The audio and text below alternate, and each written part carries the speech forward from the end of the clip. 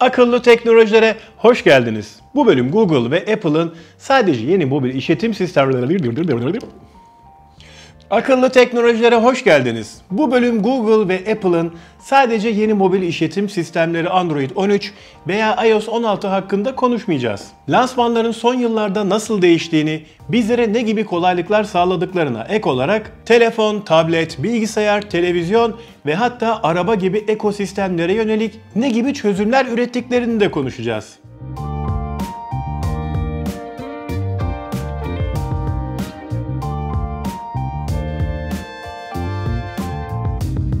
Tekrar merhabalar. Umarım keyfiniz ve hepsinden de önemlisi sağlığınız yerindedir. Geçtiğimiz hafta mevcutta kullandığımız Android 12 ve iOS 15 sürümlerinin ne gibi farklar yarattığını ve yeni sürümlerden neler beklediğimi aktarmıştım. Bu haftada yeni gerçekleşen lansmanların içerikleriyle devam ediyoruz. Başlamadan önce artık şunu kabul etmeliyiz ki cep telefonları eskisi gibi lansmanların odağında bulunmuyorlar.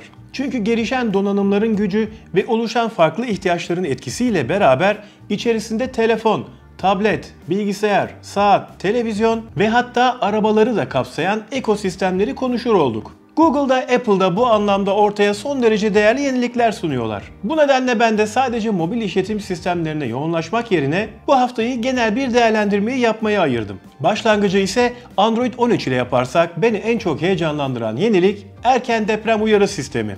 Evet, yanlış duymadınız. Özellikle deprem riskinin yüksek olduğu ülkelerde cep telefonlarımızdaki ivme ölçer sensörleri sayesinde depremin sıfır noktasında oluşan sarsıntıları tespit ederek diğer çevre bölgelere erkenden uyarılar gönderebilecek. Türkiye'nin de özellikle deprem bölgesinde bulunması sebebiyle bu özelliğin bizim için de son derece faydalı olduğunu düşünüyorum.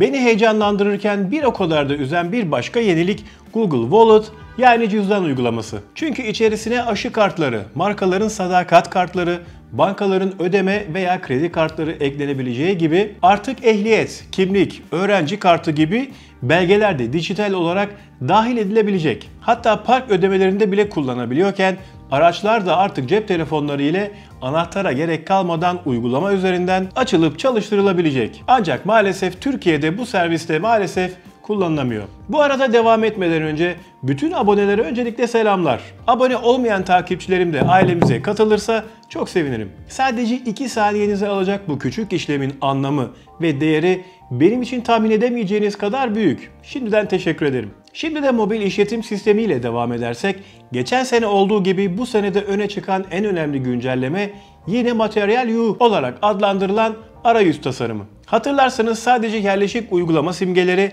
ayarlar, arama ve hızlı panel gibi tüm menülerin renkleri duvar kağıdı ile uyumlu hale getirilebiliyordu. Bu sene bu özellik daha da geliştirilerek artık yerleşik ve harici fark etmeksizin bütün simgelere uyarlanabilir hale getirilmiş. Bir de bildirim ekranındaki medya kontrol penceresi yine aynı tasarım diline dahil edilmiş. Android 13'lerin sunacağı bir başka ilginç özellik uygulamalardaki çoklu dil kullanımı. Yani eskiden telefondaki tüm yerleşik ve harici uygulamalar için tek bir dil kullanılırken artık istediğimiz uygulamanın dilini farklı hale getirebileceğiz. Yani Instagram'ı İngilizce, WhatsApp'ı İtalyanca veya Twitter'ı Almanca olarak kullanabileceğiz. Aranızda bu özelliği kullanacak olanlar varsa sebebiyle beraber aşağıya yorum yapabilirse çok sevinirim. Çünkü bana biraz ilginç bir özellik gibi geldi. Google'ın yerleşik mesajlaşma uygulaması dünya genelindeki operatörlerle yaptığı anlaşmalar gereği artık içeriklerimizin gizliliğini uçtan uca şifreleme teknolojisiyle koruyacağını açıkladı. Ancak maalesef lansmanda dünya genelindeki ifadesi kullanılırken arka tarafta beliren operatörler arasında Türkiye'ye rastlayamadım. Bir de Android telefonlara eklenen misafir modu sayesinde bilgisayarlarımızdakine benzer farklı kişiler için tamamen ayrı kullanım alanları oluşturulabilen bir özellik dahil edilmiş. Sanırım önceki çocuk moduna benzer bir menü olarak tanımlayabilirim. Özetlemek gerekirse Google bu seneki etkinliğinde cüzdan, kimlik, kredi kartı, arabanın anahtarı gibi bizi birçok fiziksel eşyalarımızdan kurtaracak ve sadece cep telefonumuza ihtiyaç duymamızı sağlayacak yeniliklerle gelmiş. Google'ın Türkiye'ye resmi satışı bulunmadığı için tüm bu özelliklerden mahrum kalıyoruz ve maalesef sadece Android işletim sistemine uyguladığı yeniliklerle yetinmek zorunda kalıyoruz. Bu arada sizlere Android 13'ün beta sürümlerini yükleyip yeniliklerini görsel olarak da paylaşmak isterdim ama maalesef Bu sürümler sadece ülkemizde yine satışı olmayan Google Pixel telefonlara yüklenebiliyor. Bunun için de Samsung'un güncellemeyi yayınlamasını beklemek zorundayım. Apple tarafına geçtiğimizde de artık eskisi gibi başrolü sadece iPhone'lar almıyor. Bunun yerine Mac, iPad, Apple Watch, Apple Pencil, Apple Car ve iPhone gibi tüm ürün ailesi işin içine giriyor. Aslında bakarsanız iOS'a yenilik sunmuyor diye eleştirdiğimiz Apple, geliştirdiği yazılımlar ile beraber ekosistemde yer alan tüm cihazlarının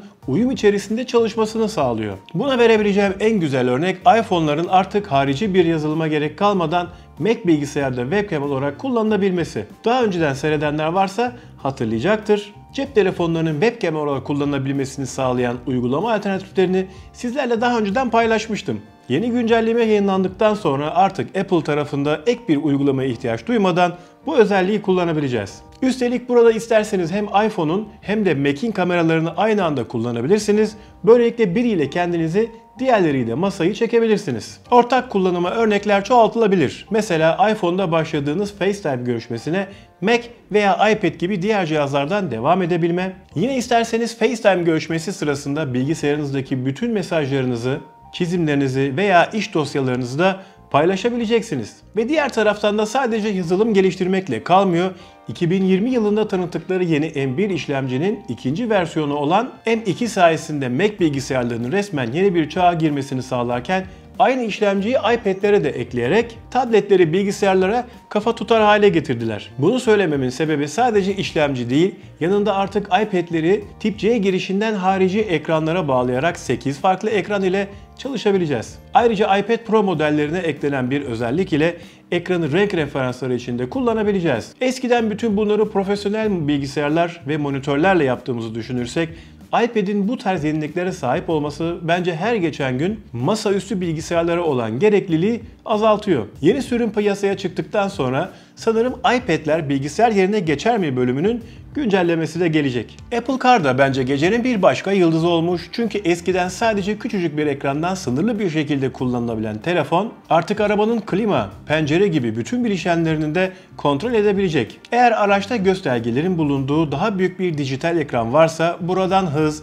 yakıt, hararet veya devir gibi göstergeler Apple Car arayüzü kullanılarak eklenebilecek. Bence en fonksiyonel özellik bu aşamada göstergelerin arkasına navigasyon ekranının eklenebilmesi olmuş. Böylelikle eskisi gibi yoldan gözümüzü ayırıp yan tarafta bulunan telefona bakmam, bakmamız gerekmediği gibi belki de telefonu çantamızdan hiçbir şekilde çıkartmak zorunda bile kalmayacağız. iPhone yeniliklerine gelecek olursak yıllardır beklediğimiz kilit ekran özelliği öyle bir geldi ki denemek için gerçekten de sabırsızlanıyorum. Aynı Apple Watch arayüzü değişikliği yapar gibi iPhone'larda da birden fazla ekranı oluşturabilecek ve içerisine widgetlar eklenebilecek. Ben özellikle kilit ekranındaki saatin fotoğraftaki nesneyi yapay zekası sayesinde algılayıp arkasına geçirebilmesine bayıldım. Bir de eskiden HTC HD2 sahibi olanların hatırlayacağı kilit ekranına hava durumu ekleme özelliği iPhone'lara da gelmiş. Yani bulunduğunuz bölgedeki yağmur, kar, bulut veya güneş gibi hava koşullarını Buradan da takip edebileceğiz. En çok beğendiğim ikinci özellik fotoğraflardan istediğimiz nesneleri ekrana basılı tutarak yine yapay zekası sayesinde arka plandan ayırabilmek ve istediğimiz uygulama içerisine taşıyıp kopyalayabilmek. iMessage üzerinden gönderilen mesajlar artık sonradan silinebilir veya yeniden düzenlenebilir hale getirilmiş. Yalnız burada dikkat iMessage üzerinden gönderilen SMS'lerde veya karşı tarafta eski sürüm iOS bulunması durumunda bu özelliği kullanamıyorsunuz. Ek olarak klavyeye her dokunulduğunda titreşim verme, iPhone yan tutulurken bile Face ID ile açabilme, konuşarak mesaj yazma ve hatta emojileri ekleme gibi daha birçok özellik eklenmiş. iOS 16'nın public beta sürümü çıktığında ben de telefonuma yükleyip yeniliklerini sizlerle paylaşacağım. İlk beta sürümlerde genelde sıkıntı yaşanma ihtimali daha fazla olduğu için ana telefonuma kurmayı şu an için tercih etmiyorum. Evet, bence hem Android hem de Apple lansmanda bizim gibi teknoloji meraklarını heyecanlandıran bir sürü yenilikler paylaştılar. Ancak buna karşılık maalesef ülkemizde artan döviz kurları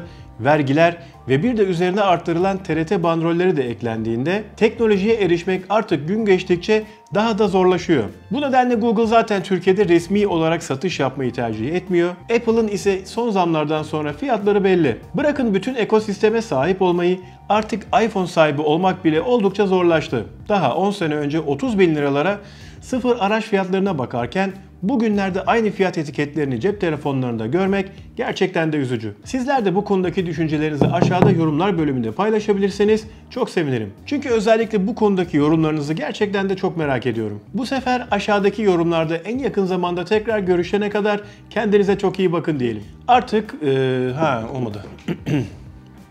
Bu arada devam etmeden önce tüm abone bu arada öncelikle tüm abonelere selamlar. Abone olmayan takipçilerim de bizim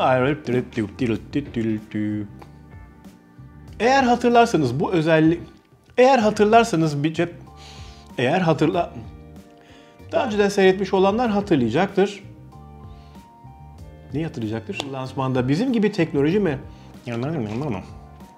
Ancak ülkemin TRT bandrolleri de eklen... Olmadı. Sisteme sahip olmayı artık Art, artık